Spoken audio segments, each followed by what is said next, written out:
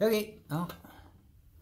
This is a, uh, it's a little plate that I'm going to use, bend and arrange to uh, turn on and off a switch inside uh, a UV disinfection chamber.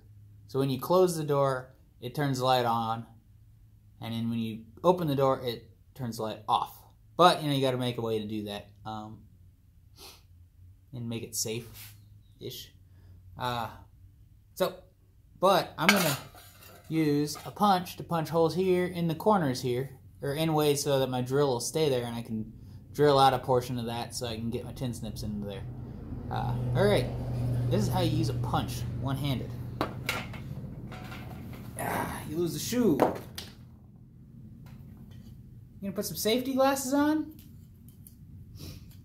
Because crap in your eyes is a thing? Alright, these sort of need to be in the corners.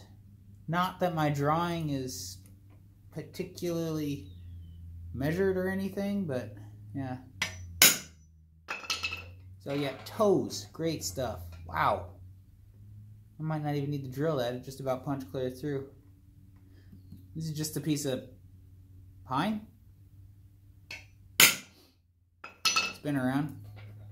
It's usually used as, as a stop block for vehicles.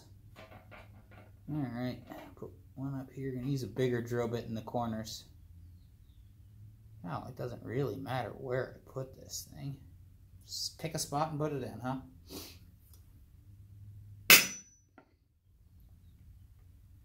Pick a spot, put it in. We're not trying to be precise today. We're just trying to get stuff done.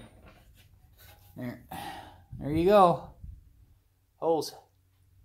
Alright. It's uh using a punch. I didn't even smash my toes today.